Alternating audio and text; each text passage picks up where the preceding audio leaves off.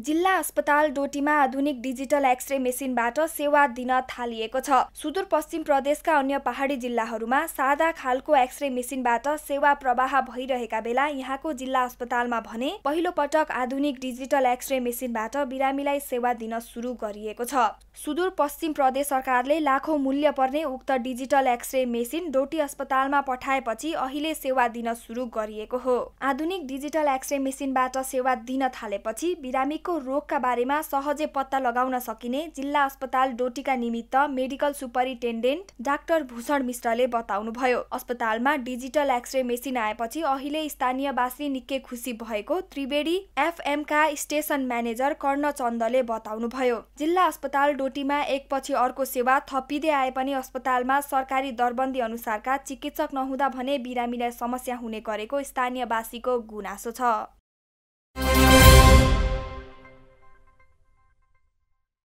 नेपालमा पछिल्लो पाँच वर्षको अवधिमा चुरोट सेवनकर्ता एक दशमलव चार प्रतिशतले घटेका छन् तर यही अवधिमा पुरुष सेवनकर्ता भने एक प्रतिशतले बढेको पाइएको छ। नेपालमा नसर्ने रोग सम्बन्धी तत्त्वको सर्वेक्षणले यस्तो तथ्य उजागर गरेको हो। हरेक पाँच पाँच वर्षमा हुने यो सर्वेक्षण पछिल्लो पटक नेपाल स्वास्थ्य अनुसन्धान परिषदको अगुवाईमा गत फेब्रुअरीदेखि मे महिनासम्म गरिएको थियो। सर्वेक्षण पन्ध्रदेखि उनसत्तरी वर्ष उमेर समूहका पाँच हजार पाँच सय तिरानब्बेजना वयस्कमा गरिएको थियो। सन् दुई हजार उन्नाइसको सर्वेक्षणले धुम्रपान सेवन गर्नेको प्रतिशत पुरुषमा अठाइस र महिलामा सात दशमलव पाँच गरी औसतमा सत्र दशमलव एक प्रतिशत देखाएको छ। पाँच वर्ष अघि अर्थात् सन् दुई हजार तेह्रमा गरिएको यस्तो सर्वेक्षणमा पुरुष सत्ताइस प्रतिशत र महिला दस दशमलव तिन प्रतिशत गरी औसत अठार दशमलव पाँच प्रतिशत देखिएको थियो। यस आधारमा धुम्रपान सेवनकर्ता पाँच वर्ष अघिको तुलनामा एक दशमलव चार प्रतिशत प्रतिशतले घटेको भनिएको छ। त्यसो त पुरुष र महिला सेवनकर्ताको छुट्टा छुट्टै विवरण हेर्दा सन् दुई हजार तेह्रमा भन्दा सन् दुई हजार उन्नाइसमा पुरुषको प्रतिशत बढेको छ भने महिलाको संख्या घटेको छ।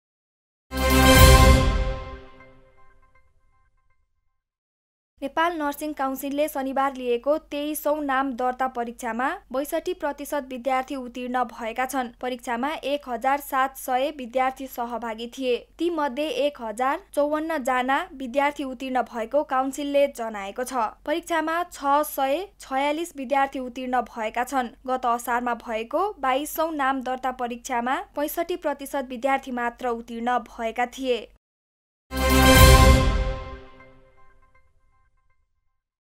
बहु भौगोलिक विकटतासँगै विभिन्न समस्याबाट गाँजिएको उपल्लो डोल्पाका स्थानीयवासी आम्चीका भरमा उपचार गर्न बाध्य छन्। वर्षमा एकपटक मात्र औषधि उपल्लो डोल्पामा लैजाने गरेको स्थानीयवासीहरूले बताएका छन्। उपल्लो डोल्पामा बसोबास गर्ने आन्चीले जङ्गलबाट ल्याएको जडीबुटीलाई औषधि बनाएर प्रयोग गरी स्थानीयवासीको उपचार गर्दै आएका छन्। भूगोलका हिसाबले नेपालकै ठुलो जिल्ला भए पनि सेवा र सुविधाका हिसाबले यहाँको जनजीवन निकै कष्टकर छ। उपल्लो डोल्पामा रहेका स्वास्थ्य संस्था पाएक पार्ने ठाउँमा नहुँदा आल्चीले बनाएको औषधिका भरमा यहाँका बिरामीको उपचार हुँदै आएको स्थानीयवासीको गुनासो छ।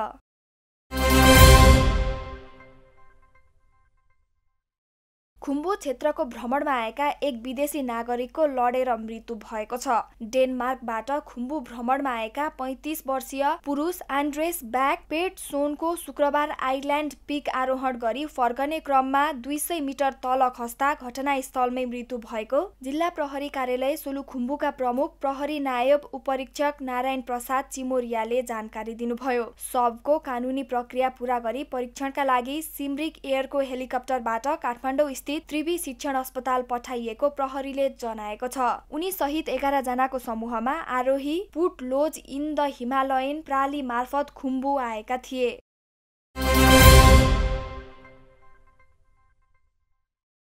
राष्ट्रिय गौरवको काली गण्डकी करिडोर सडक आयोजना अन्तर्गत मुस्ताङको जोमसोम कोरला सडक तीन दिन बन्द गरिने भएको छ। जोमसोम कोरला निर्माणाधीन सडकको तेस्रो प्याकेजमा पर्ने समरको भिरदेखि झो खोलासम्मको सडक फराकिलो बनाउन मङ्सिर पाँचदेखि सात गतेसम्म सवारी आवत जावत बन्द गर्न लागि हो। प्रमुख जिल्ला अधिकारी वेद प्रसाद अर्यालको अध्यक्षतामा बसेको बैठकले सवारी आवत जावत रोकेर विस्फोट पदार्थको प्रयोग गरेर सडक विस्तार गर्ने निर्णय गरेको बेनी जोमसोम कोरला सडक आयोजनाले जनाएको छ। निर्माणमा बाधा पुग्ने र दुर्घटनाको जोखिम भएकाले सवारी बन्द गरेर सडक विस्तार गर्न लागि आयोजक प्रमुख मुकुन्द अधिकारीले बताउनुभयो।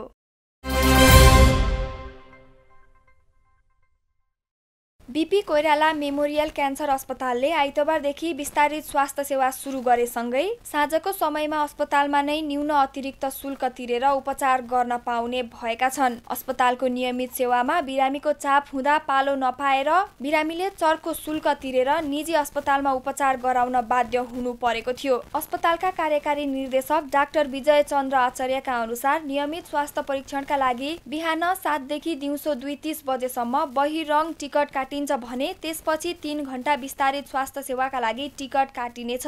गर्मी महिनामा भने उक्त समय एक घण्टा थपिनेछ।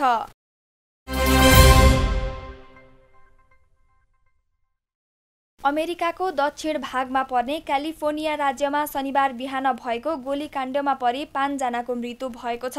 मृत्यु भएका मध्ये तीनजना बालबालिका समेत रहेका स्थानीय स्रोतले जानकारी दिएको छ। हत्या गर्ने व्यक्तिको पनि मृत्यु भएको विश्वास गरिएको सो स्रोतले जनाएको छ। स्थानीय एक पत्रिकाले प्याराडाइज हिलमा उक्त घटना भएको लेखेको छ।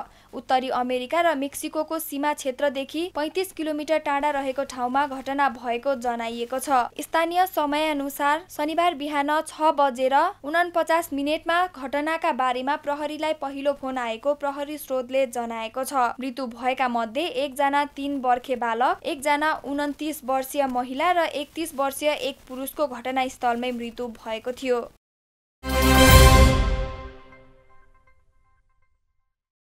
दक्षिण अमेरिकी राष्ट्र बोलिभियामा शुक्रबार सुरक्षा बल र प्रदर्शनकारी बीच भएको झडपका क्रममा कम्तीमा आठ व्यक्तिको मृत्यु भएको स्थानीय अधिकारीहरूले जानकारी दिएका छन्। यस प्रदर्शनको क्रममा आठजना मरिनुको साथै अन्य एक सय बत्तीसजना घाइते भएका सरकारी स्रोतले पुष्टि गरेको छ। घाइतेहरूमध्ये अधिकांशलाई गोली लागेको बताइएको छ। प्रदर्शनकारीहरू राष्ट्रपति इभो मोरालेसका समर्थकहरू रहेका जनाइएको छ। उहाँले भने राजीनामा गरिसक्नु भएको छ। बोलिभियामा गत अक्टोबर बिसमा भएको निर्वाचनबाट पुनः चौथो पटक राष्ट्रपतिमा चयन हुनुभएको इभो मोरालेसका विरुद्धमा तीन हप्तादेखि श्रृङ्खलाबद्ध विरोध प्रदर्शन भइरहेको थियो। विगत तीन सातादेखि हिंसात्मक प्रदर्शन जारी रहेको अवस्थामा देशको सेना र प्रहरीले पनि राष्ट्रपतिका कदमलाई समर्थन नगर्ने घोषणापछि राष्ट्रपति मोरालेसले राजीनामा गर्नु भएको थियो।